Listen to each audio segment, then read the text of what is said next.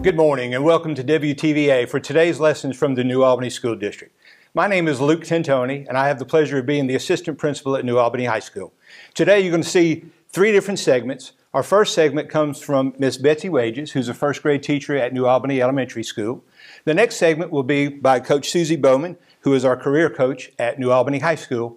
And then the final segment, you'll see a, a short video uh, that addresses our Impacto program at New Albany High School. Thanks for being with us today, and we hope you enjoy our lessons. Hi, my name is Betsy Wages, and I'm a first grade teacher at New Albany Elementary School. I'm hoping that today I can help you with some of your instructional needs on as you learn from home. So, I've been a first grade teacher for three years, and something that I frequently um, get asked by parents is how can I help my child become a better reader? Well, at New Albany Elementary, we use um, five components to help students learn how to read. We use phonemic awareness, phonics, reading comprehension, vocabulary, and fluency. Those are the building blocks of reading. And so today, I hope to teach y'all um, using one of those components, which is phonics. So today we're going to be focusing on one certain skill, but parents, I just wanted y'all to know that even though I'm going to focus on one certain phonics skill today, you can use any phonics skill at home. It might be one that um, your class is working on currently from your teacher, or it could be a skill that you just noticed your kids are struggling with at home. So today we're going to be working on the long and short vowel sound. This is something that I've noticed that first graders struggle with, especially coming from kindergarten into first grade. And as they're reading, they're unable to identify the different vowel sounds that they see as they're reading, maybe in a passage or in a book. So today I'm going to focus on that. Okay, so um, one of the first things um, we're going to do is I'm going to let um, you guys see, and if your students watching at home, I want y'all to look along with me. I've got a set of vowel cards that we're going to focus on today. Okay, so with these vowel cards, I'm going to hold them up to make sure we know what our vowels are. So y'all just say them along with me as you see them. A, E, I, O, and U. Those are our vowels, and we'll be focusing on those as we do a game in just a little bit, okay? So the next thing I think you need to know is the difference between short vowels and long vowels, because that's the tricky part of it. Today, we're going to be doing a phonics scavenger hunt with short vowels and long vowels. Let me teach you what a short vowel is. So a short vowel is a vowel that says a short sound. So it would be a sound like ah, or eh, or i or ah, or uh. And then our long vowel are vowels that say their name, like we would say when we're saying the alphabet. So it might be like A, E, I, O, and U. Now, part of our game today we're going to be working on is a phonics scavenger hunt. One of the things that I've made, I just used some paper that I had from home, and maybe you have some paper lying around the house too. Um, I made a little T-chart on that I'm going to document all the things that I find on my scavenger hunt to identify different short and long vowel sounds. So you can use any paper that you've got at home or anything to write with. Notice at the top of my T-chart, I wrote short vowel, and I wrote long vowel. Also, for younger learners, it might be a good idea to draw a little picture. So students, you could draw a picture at the top to remind you what those vowel sounds make. So short vowel, I drew a picture of a cat because in cat, the A says ah. I drew on long vowel side a snake because the snake would say A, its name, like a long vowel would say, okay? So this is just an idea. We call it a T-chart because it organizes our thoughts into two different sides. So this will really help us. And students, you're probably familiar with this. You've probably seen this in class before, okay? So um, this is something great that we're able to use and organize our thoughts. Okay, so um, we'll have that today. Another way you can use your T-chart too is if you have chalk lying around your house, you can go outside and do a T-chart on the ground, okay? And organize it between short vowel and long vowel as you're doing your scavenger hunt. Now, today when we do it, the good part is you don't need much to do this scavenger hunt. It's very little prep and very little supplies for this, okay? So like I just showed you, if you want to make a T-chart, you can use this. If you don't have these supplies, you can just simply organize on the things you find in your scavenger hunt into two different um, piles is what you can do. A short vowel side and a long vowel side. So either way works, okay? For younger learners, parents, you might want to go ahead and have a word list for those um, young learners that have short vowel and long vowel words. And what they can do is you can call out one of the words and have your child go and find that object, either around the house or outside, and they'll really enjoy doing that. When they bring the object back to you, you can have them, if you have a T chart made for them, or if they make their own T chart, you can have the students, the younger learners, write the vowel sound that they hear. So they can write it in the column, either short vowel or long vowel. They could even draw a picture if they'd like. Now, for older learners, I would suggest that um, you um, let them go and find their own short vowel and long vowel objects, either around the house or outside, and I think they'll really enjoy doing that. When they come back to you and they organize them into the right columns, either short vowel or long vowel, I would have them write those words and practice those phonics skills that we're talking about. And that would be a really good practice for them. So those are my suggestions. The reason I love those two activities so much is because it covers so many skills. You've got movement and activity, You've got identifying objects, you've got identifying the vowel sounds, you've got sorting words into categories, you've got, if you have them writing, you're working on fine motor skills. So there's so many things that that covers that's um, just awesome for kids, and it'll get them really active and moving, which is great too. So Today, I thought that we would do a few of these activities together just to kind of show you what it would be like whenever you do it, okay? So, um, I have a few objects today that I've found in nature. Maybe if you're sitting right now um, in front of your TV, you might have a window in the room, and you can kind of have a scavenger hunt looking with your eyes out the window with me right now. And maybe later on, you can make your own scavenger hunt, okay? So, a few of the objects that I have picked out of nature, let's see if y'all know what these objects are. The first one I have this is called a twig. Say the word for me. Twig. Excellent. Now let's think. Do we think the word twig has a short vowel sound or a long vowel sound? Twig. Twig. That's right, it's got a short vowel sound. Excellent. So um, we can identify it as short vowel because the I says it. That's great.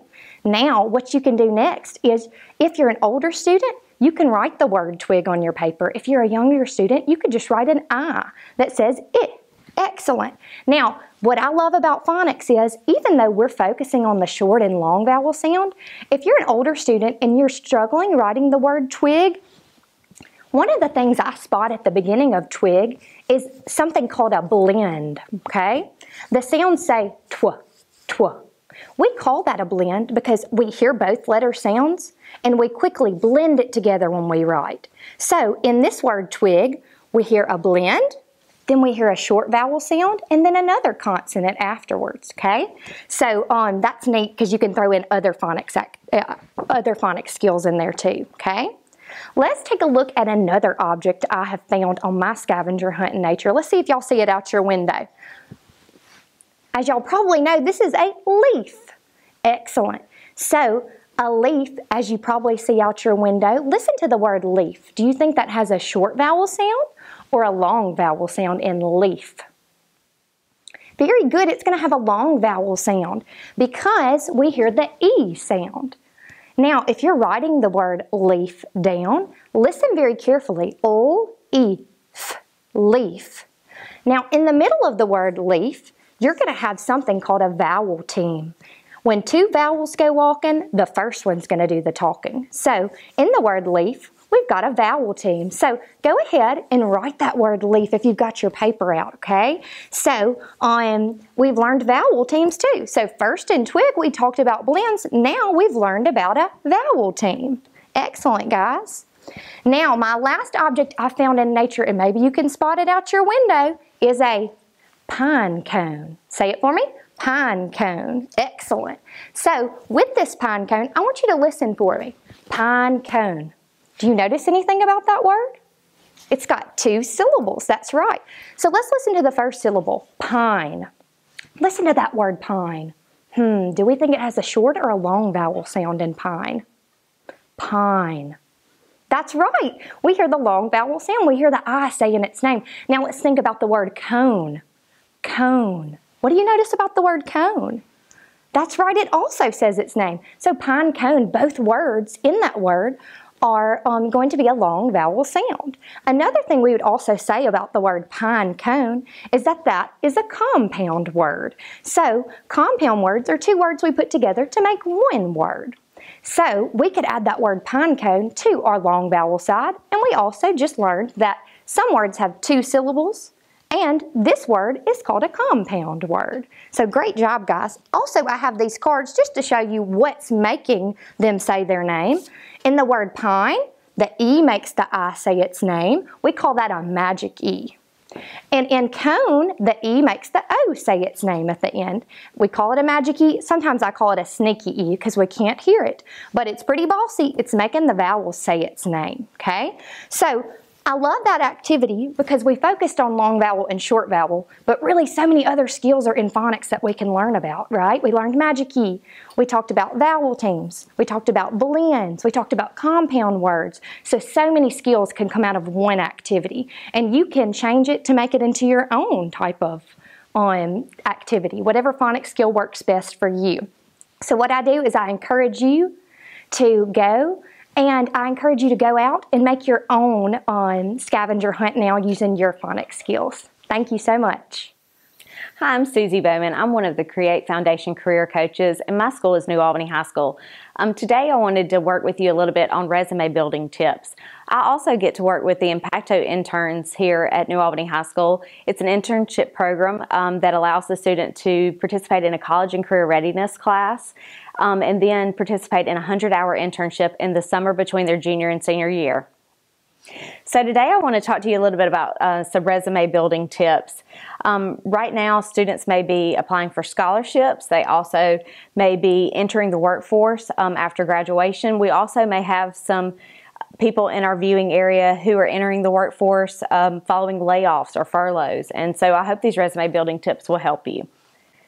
So I want to start out with um, with what I feel is is very important right off the bat. Essential skills. Every single employer is looking for these essential skills, and I want you to know what those are. They say the top seven essential skills that employers are looking for is um, the ability to communicate, um, the ability to be very dependable, to have teamwork skills, organizational skills, adaptability skills, leadership skills.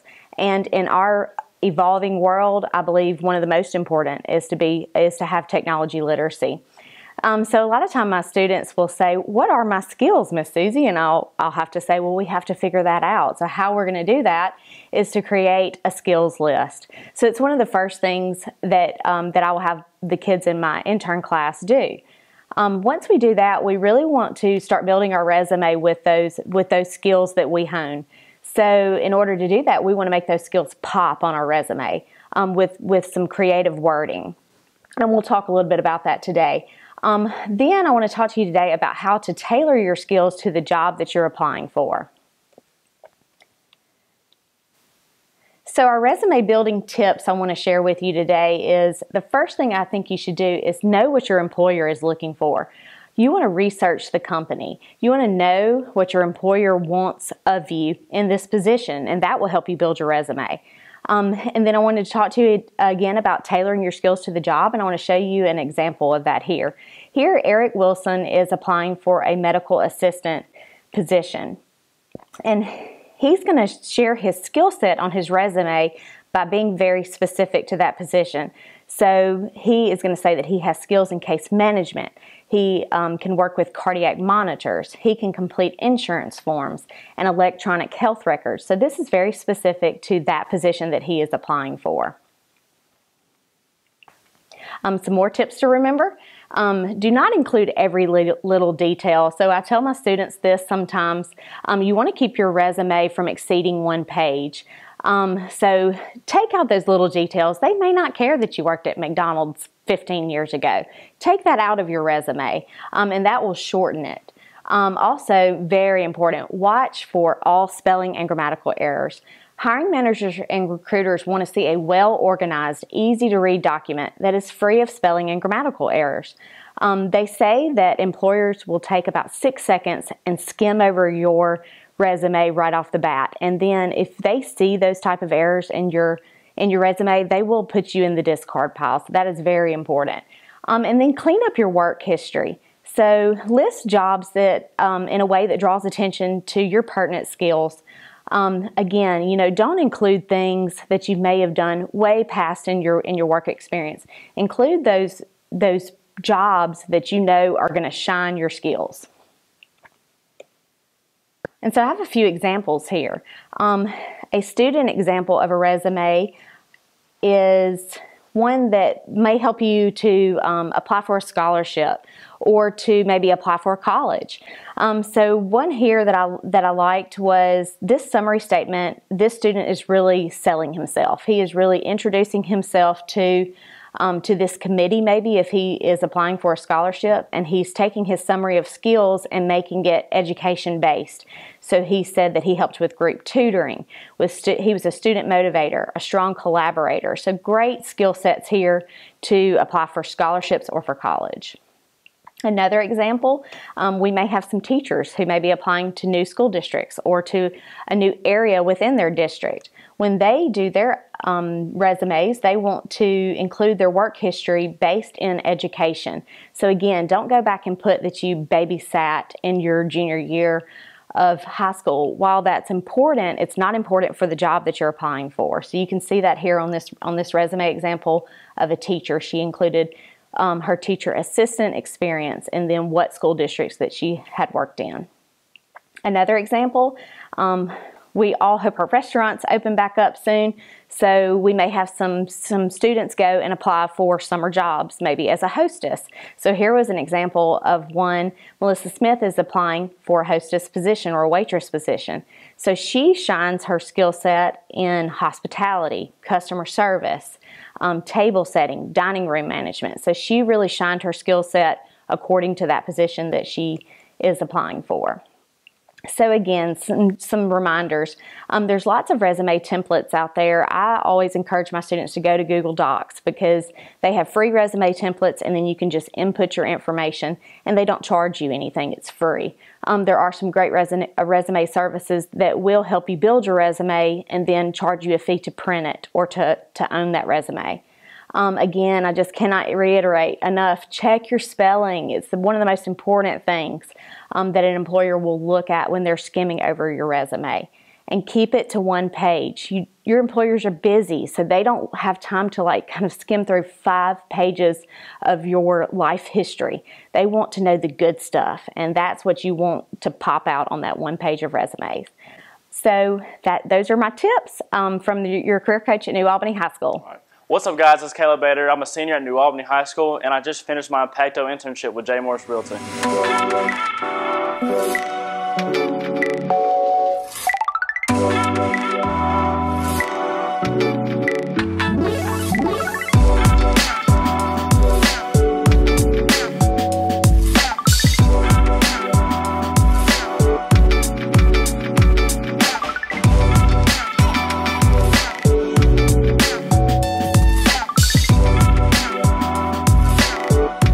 Impacto is a student internship program in which students have the opportunity to participate in a 160 hour internship in which they're paid $8.75 an hour. The school district also helps provide the necessary resources they need at no cost to the student to ensure that they have the proper uh, equipment to be able to be successful in the internship. You know, with any initiative, there's always a why, the why that you do it. The why here in our case was as a, as a high school principal, I saw students for years come through our high school and our school district and be very successful academically. They would leave us, they would go on to colleges and universities, and they would go into the workforce and they had the necessary skills from an academic standpoint to be successful, but we weren't providing them with those skills they needed uh, that relate back to the expectations of business and industry. Impacto internship program is so important to our community and to our students because it connects the student with a mentor in the community. To me, we are building um, our local workforce through this program. We have seen many positive benefits from our Impacto program here at New Albany High School. The main benefit that I've seen firsthand is the relationship that is built between our local business industry and our students. We've had several students who through their internships through Impacto now have full employment in these places. So we're seeing an immediate impact. Where when we started out, we thought that maybe after college, after graduation, that we might have these um, students in full-time jobs. We've got businesses wanting to employ them right now while they're still stu- students in New Albany High School. The Impacto internship is is funded in so many ways by various partners that we have, and we are so thankful for those partnerships with Three Rivers Planning and Development um, District. We also have our Toyota Wellsprings Education Fund and the Create Foundation.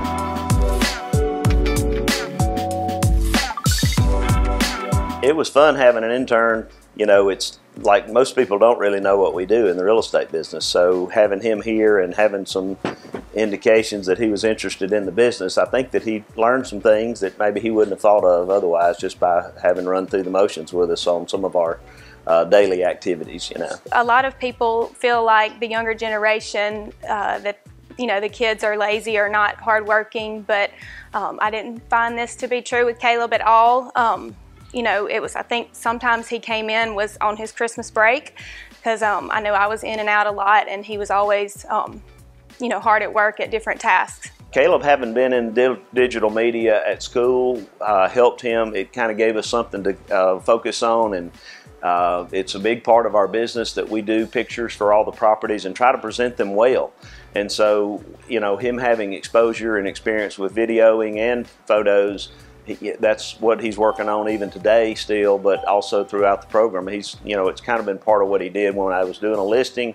He would go in with me, and while I was getting paperwork signed and whatnot, and he took pictures around and we'd ask, you know, there were certain things we had to get answered as far as the forms and whatnot we were doing. He helped me get the answers that. Anytime um, I saw Caleb, he was always hard at work at whatever task, you know, Jed or Miss Merle gave him for that day. So the Impacto internship program from just a parent standpoint and a professional standpoint, I just feel like that's one of the best things that the high school could offer their students. Um, there's just really nothing better than hands-on experience. You know, it was my junior year of high school. I'm still trying to figure things out, and I just wanted to figure out what I wanted to do. And I just saw everybody else going through the Impacto program, and they just had amazing testimonies about it, saying just great things. And you know, it kind of sparked my interest. And then I saw J. Morris, and then my my interest in real estate started popping up. I decided I went to Miss Bowman one day, and I just asked her if I could do an internship, just trying to you know put my foot in the water, just see what's going on. And she she got me a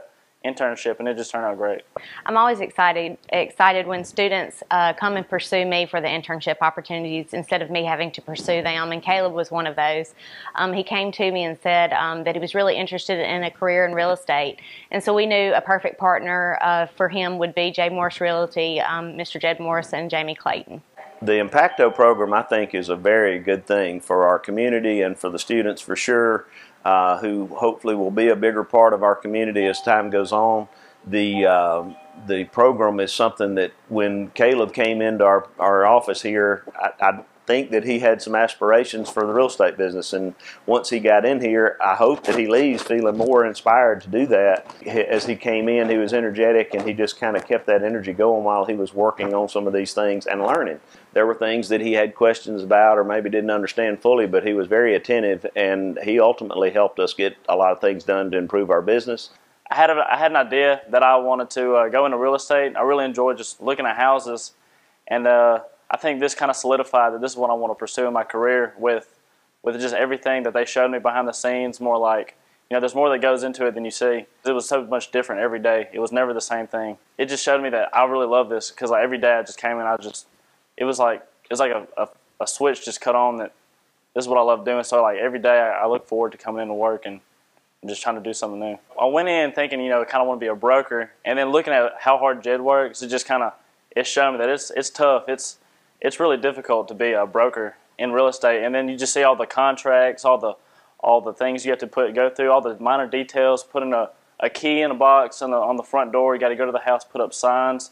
So I think there's just so much more that goes into it than people realize, and more than what I realized. And then it came in and just it just showed me that you know this is this is really hard work and it's kind of what I want to do. The success stories of Impacto have been um, so great. We actually have had students go through their internship experience and it really solidifies that this is what they want to do. Then we also have experiences where students go through their internship and they decide this is not exactly what I thought.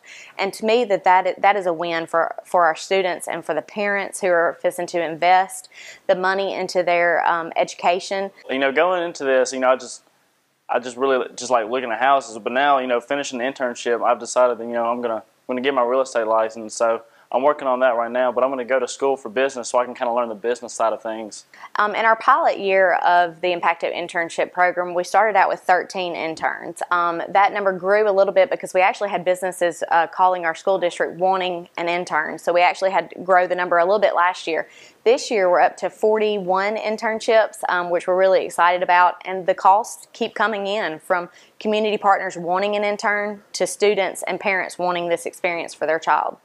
The program has really grown this year. We're really excited uh, to have more than doubled our spots in the internship program this year for New Albany High School. Um, we are hoping to even grow it even more.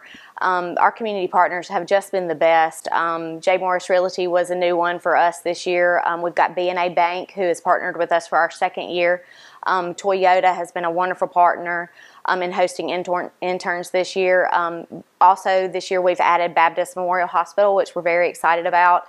Um, some of our other medical interns are Creekmore Clinic, um, IMPC, um, Cook's Adult Daycare Center. Um, we have we have so many great partners in the community, and we're just very thankful for their partnership with our school district. I'm Jed Morris. I'm Jamie Clayton, a realtor here at J. Morris Realty. We were glad to have Caleb here working with us uh, through the Impacto program from New Albany High School. If you are a local business here in the area, we would like to encourage you to also host an intern.